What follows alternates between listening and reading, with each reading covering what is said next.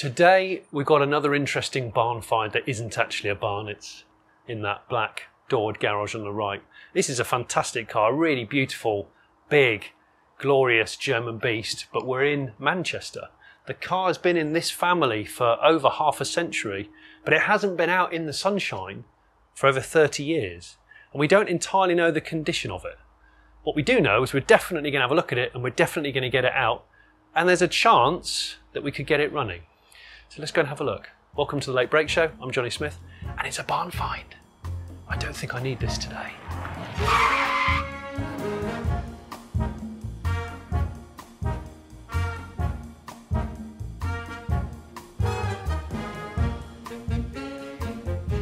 This is Nick Fielding. Hi, Nick. Hiya. This is your parents' garage, right? It is. So this barn find is it's not your car, but it's a car that's been in your family for decades. Yeah, It's older than you. it is. It's 1963. Wow. And so you've got. I, I'm actually quite shocked because when you told me about the car, uh, I don't know if it even f- would fit in there. I would look at that garage and think it's too big to go in there. But we're dealing with a, um, a s- 1963 Mercedes, 220 SEB convertible. One of the one of the most handsome convertibles ever made, I think. The thing that interests me is the fact that it was your grandfather's, Yep. He bought it in the 70s, I think. and it, and it's and he's no longer with us. No.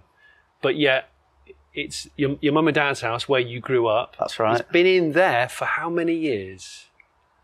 Got to be 35, Really? I reckon so, yeah, or close to. And it's and it's so it's not been on the road. It's not been on the road since, I think, eight, 80, 85, 86 was maybe the last time I think it drove here. Oh my Actually. gosh! And you don't entirely know its its state, do you? No, so it, it had a body restoration done, I think the very early 90s, but nothing was done mechanically. Yeah. Um, but it's been in the garage since. So it got painted and put in there, and nobody Pa- really. painted, put in there. We, we got it running. Um, I think it was on WD forty, maybe very late nineties. That was with my uncle, Yeah. but since then, not been not been started. Oh my gosh. So we're going to stop talking and we're going to go and dig this 1963 Merc 220 SE out.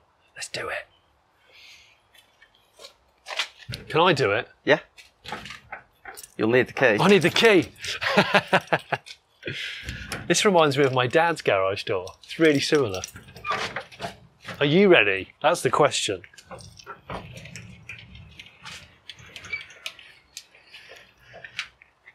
Oh, look.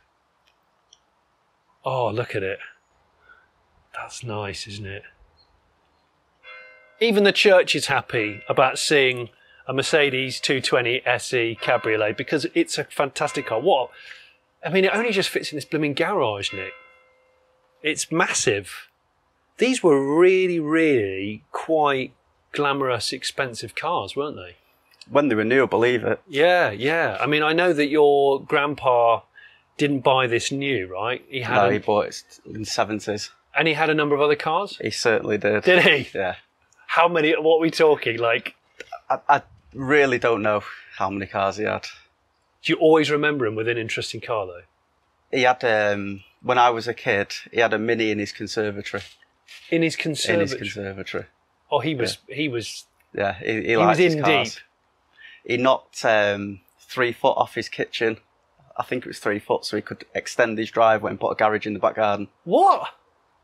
So you reduced the size of the Reduce kitchen. the size of the kitchen so we could get more cars into the garden. So okay, so, he, so we had some glamorous cars. He had some regular cars, and this car here is in your parents' your old, I guess, where Yeah. you grew up.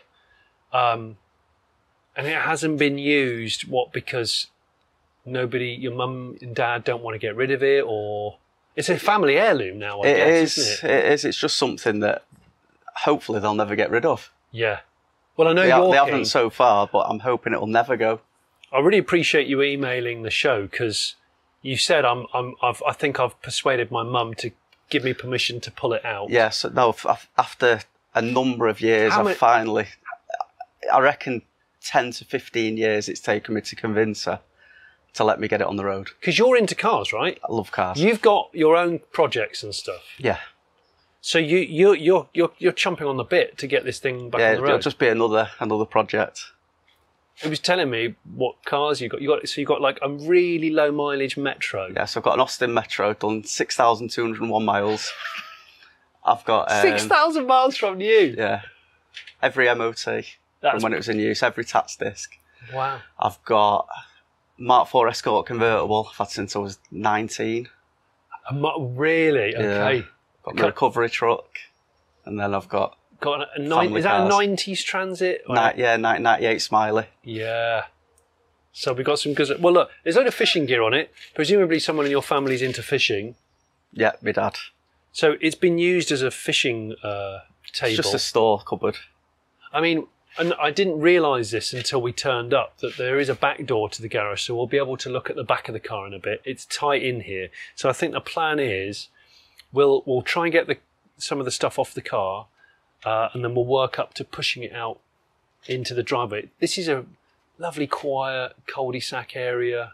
Nobody knows this is tucked away in here apart from a neighbour, I guess.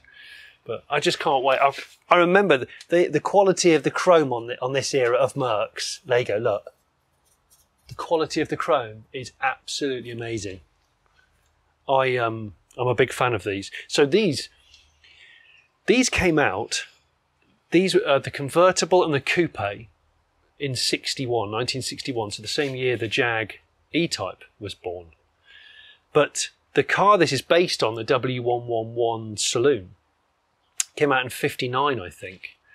Um, but these came out to sort of celebrate Mercedes Benz's 75th anniversary. I didn't know that. Because I guess you and, and, and your parents I don't know what it's I've, like. I've not seen it out of the garage, and I don't even remember when. So you haven't seen it out of the garage since you haven't been an adult since it No. was out. Wow. I'm going to be really gentle with your old man's fishing gear. We're going to start uncovering it. Don't you think for a second that we fabricate things on the late brake show? All of the all the dust is is natural, isn't it? Definitely. Nick said, Did you want me to sort of clear it all out? And I said, No, don't. Leave it where it is. Don't touch it.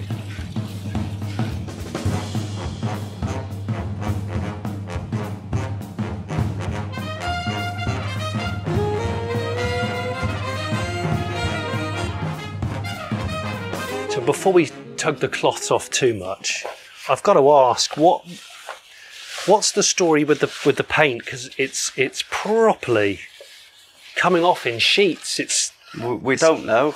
It was it was sent away to have paintwork done, yeah, and it was fine for a few years, and then it just started it's cracking. Like, it's it just started with cracks, I mean, look at this. and then it's weird, isn't it? it will it will get done. But before it was painted and stuff, it was used. Yeah, oh, absolutely. My granddad used it up until he he passed away, Wow. And when did he die? mid eighties. Right. Okay. I think the la- the last MOT, I think I've got it inside. It was either eighty, either 84, 85 or eighty six, and he, he had it MOT the year he passed away. So you were really young. Yeah, I was only only young. I think I was five. Right. Okay. Gosh. Well, let's do it. Let's see what it's really like. Take this, we'll put it over there, yeah. Let's tug this one off. So we can actually see that it is a cabriolet. And it's got some stuff in it. Oh yeah. Yeah, there's some boxes. Oh, some of my old stuff in there. Yeah, there's a steering wheel and some lights and such a such a handsome, strong identifier. I mean, people refer to this era, certainly the the saloons, as the fintail, Yeah. like, or the stack headlight era. But um, it, they didn't really have proper fins, not like American cars. No, But, well, this um, one hasn't got any. yeah, it just sort of Yeah. goes down. But the, the saloon was, but yeah, well, should we? But actually, should we have a look and see what the engine's like? I'm trying to remember what's the. Oh, it's a bit of insulation there that my, my dad put on it years ago. Oh, that's clever. there you go. That's clever. Don't knock your head on it. Yeah, you don't want to bet. Oh my gosh, this is this is actually pretty good, Nick. Ah, so I said my uncle did a few bits to it, and it looks like he. I thought he put a New cap on it in HT Leeds. leads. Yeah. Yeah, that will have been either very late nineties at the earliest, early two thousand, but I think it was the nineties. It's such an instantly recognisable um, cam cover, I think, on this on this era of Merc engines. Lovely long straight six. The casting on that. I think I've made a few notes actually. I think this is the M127 engine. So this one's 2,195 cc, fuel injected. Uh, early days of fuel injection. 118 horsepower, apparently. Really? Yeah, 118 horsepower. Yeah. So I had a quick look at stats for these because I'm just interested in stuff like this.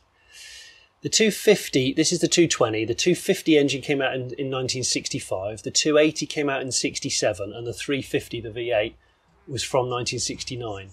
Um, in 10 years of production, from 61 to 71, which is when they made these, they made 16,900 coupes and cabriolets collectively. But between 61 and 65, they only made 2,729 uh, cabrios. It's nothing. That, is No, it? and I think we are talking about only 300-ish, 400-ish right-hand drive cars of this era.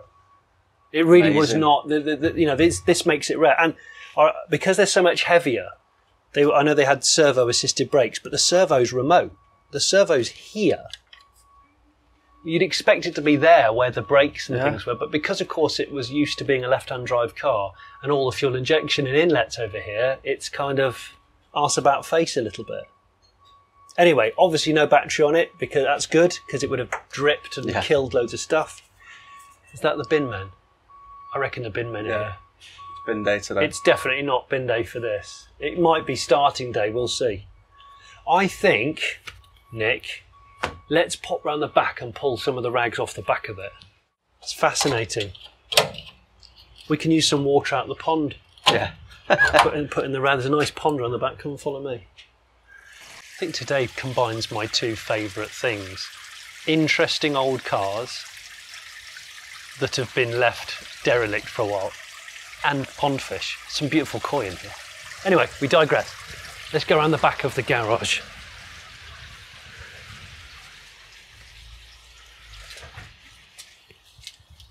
Okay. Got some bits to clear out there, Nick.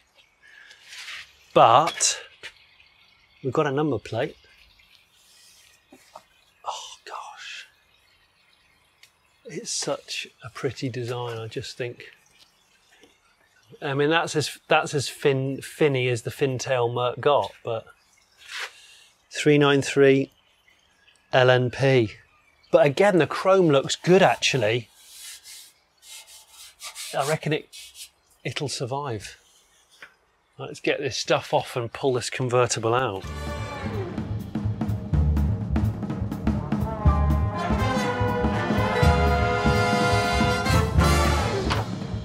What is in here, Oh. Nick? Videos. Childhood tapes. Teenage Mutant Nin- Hero Turtles, of course, and and Mel Gibson's Braveheart. I was totally expected that to be in there. my brother's my brother's favourite film of all time, The Hunt for the Red October. Brilliant. Oh, well, should we uh, mm, should we get the crates of videos out? Yeah, let's get them out.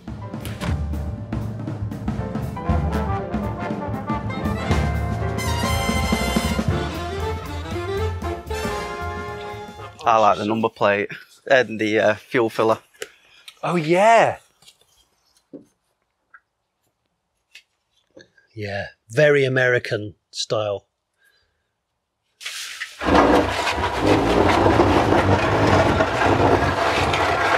Is this an exciting day for you? It's a day I've wanted to do for a lot of years. Is it? Yeah. Do you want a hand? Oh no, you're all right. You sure? Yeah. As the bell chimes. I love the fact that, that your grandpa had a tow bar on that. You used to go caravanning with that. Yeah. That's the most glamorous tow car. Feels like you're resuscitating. 30. Got some pressure in that vessel, haven't you, Nick? Yeah. Se- This thing's seven just, bar I this it. tyre's just shot up. I think we've been lucky. I've just put air in all four tyres and they're all still up. So that bodes well. Yeah. Um, the roof's better than I thought it would be. You, you It's better than I thought. I, I was convinced it needed no, a proper. I don't think it's, reskin. it's not knackered. But we'll, we'll, we're going to try and get it out into the sun for the first time in 30, Got to be thirty years. Yeah. at, at least 30 years, and we'll have a good nose around it then. We can get inside it because I can see some trinkets in there.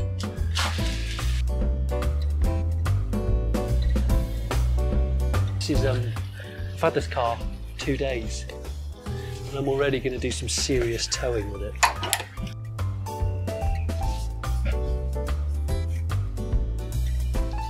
Welcome to the Late Brake Show where we know no danger. Right, let's see if we can gently. You, you definitely think it's hooked on that wishbone, yeah. Yeah. Go on. all right? How far from the wall am I there? You're about 10 inches, a foot maybe? Oh, you beauty, look at you. Oh, you sexy thing, you stack headlights sexy thing. Oh, look at it. Bit of sunshine for the cabrio. Oh, that's freed. Yeah? I think I heard the wheel free. I did. Yeah, freed. It's free. Yay!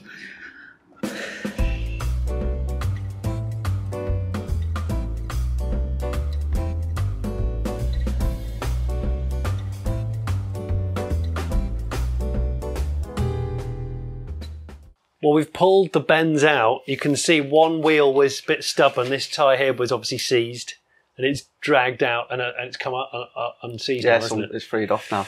We've left the remnants of your youth This is my youth on here. Yeah. of cherry bomb exhaust. Yeah, I used to do straight through exhaust for all my mates. Did you? Yeah, did straight through conversions on all the exhausts, make them louder. So you've never seen the garage like this Not since the very early 90s when it went away. when it went to be Yeah, painted. that's the last time bloody hell! I've seen the garage like this.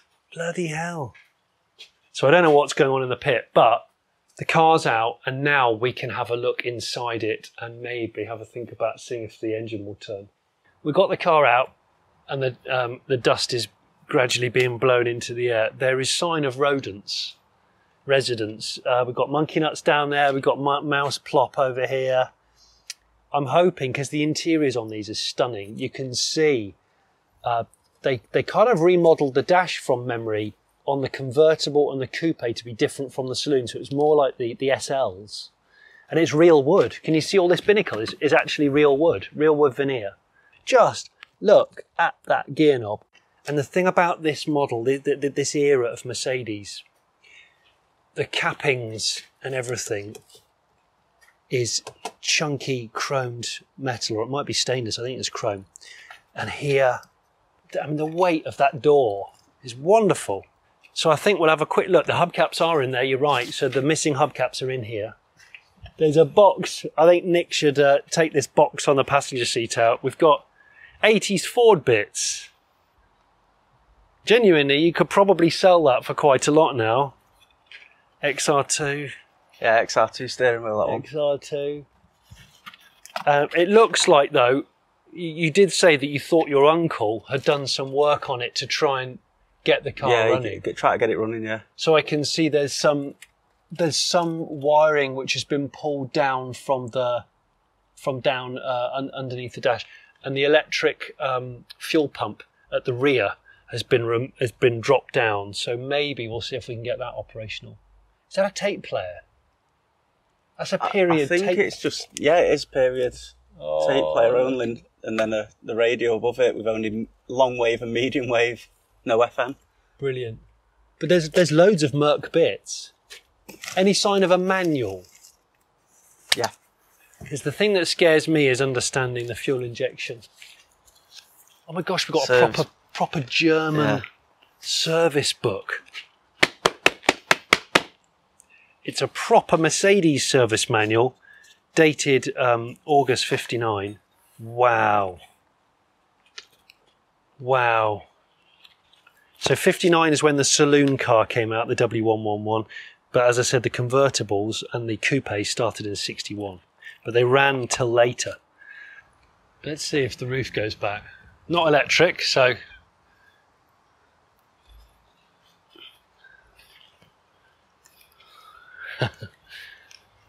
it's heavy, isn't it? It's Very. a big, it's a beautiful piece. These beautifully machined. Won't go much further Don't than we've got some there's some trim and stuff Yeah. in, under there, isn't there? Do you know what? The more I look at this car, I think it's one of these cars that looks way worse than it really is. I know it's had some stuff removed for the paint job and never put back on. The paint job looks terrible. It looks like it's Hopefully, yeah, just wants rubbing back and yeah. painting again. It looks like an import from Arizona or some hot state in the state. It does not look like a Manchester car. No. Oh wow! that's at the front. Oh, these are Bosch, aren't they? Or are they? No, Notec. I love. It's there off the front bumper.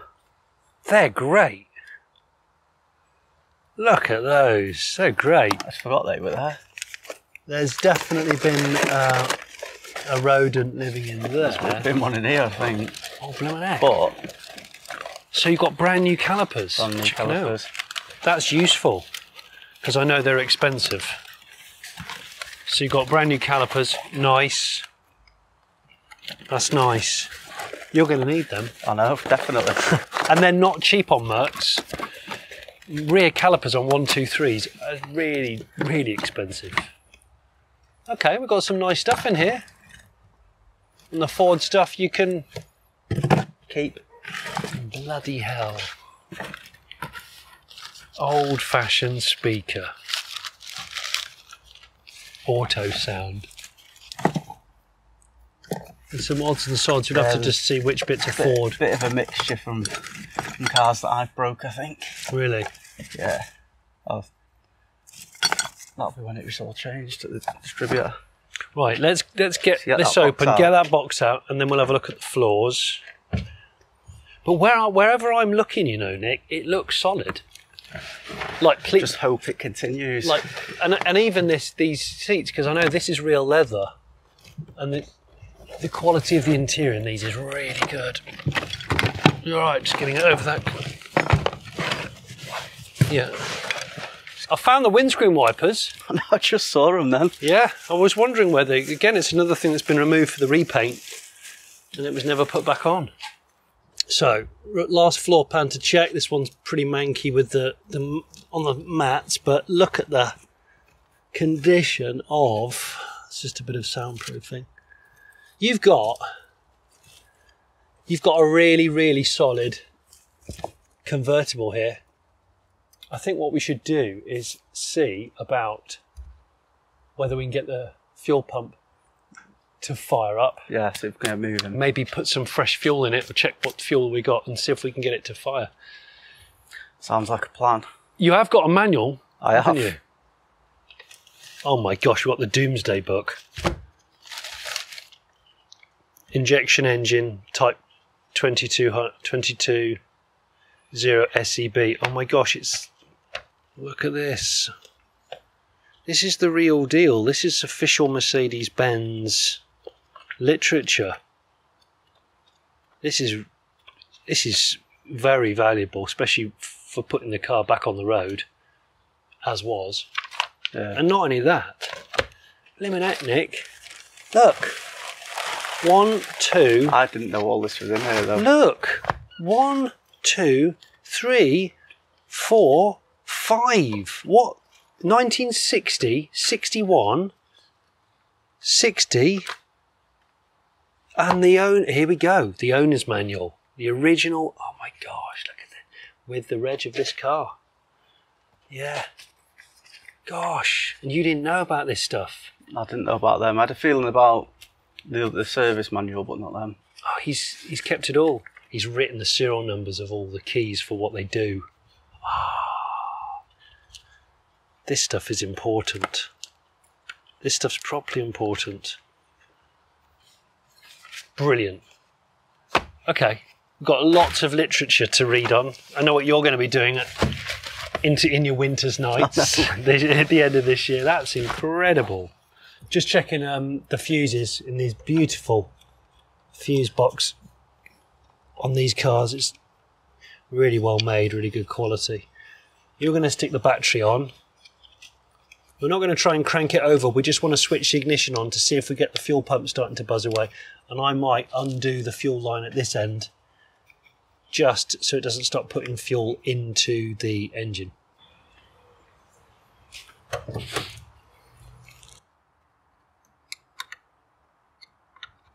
Anytime I go to a barn find, I always pack a little bit of a first aid kit because you never know. You never know if you might get it going or not. I've just brought my normal go anywhere toolkit. I've got contact cleaner, um, different sizes of fuel line, a couple of fuel filters, WD 40, naturally, easy start, uh, and a few other bits. Got some lights on the dash. Yeah, I just heard a solenoid. Yeah, if you do that one more time, I'm going to listen out for where that is. Oh my gosh. Wow. Again. Yeah. Well, starter works. Right, I'm doing it, going for it now. Okay. Not hearing or feeling any uh, connection here. I'm wondering whether to give it a little squirt of easy start and see what it At the, does. at the front. Yeah, We could run it off a can, gravity feed it from a can. yeah.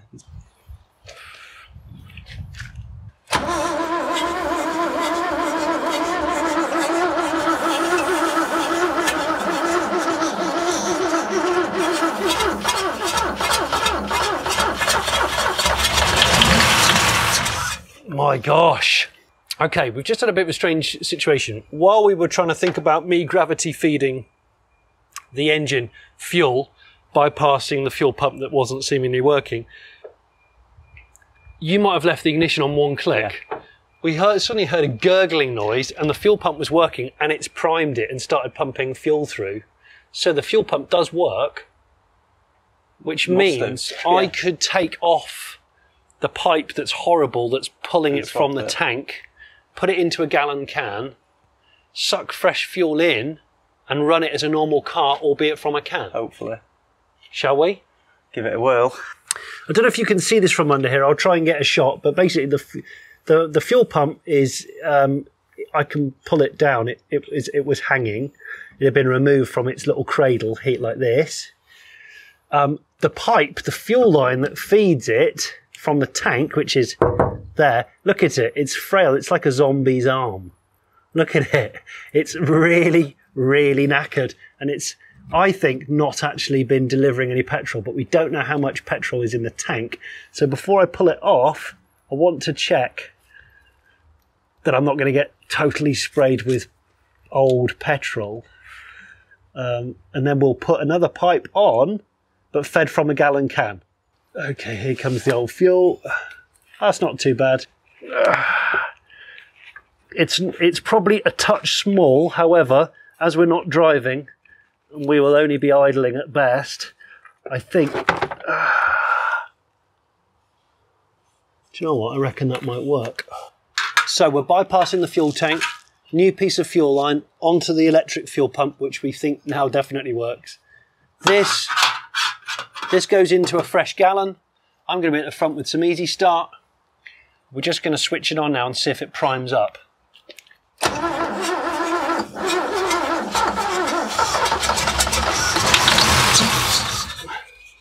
Oh!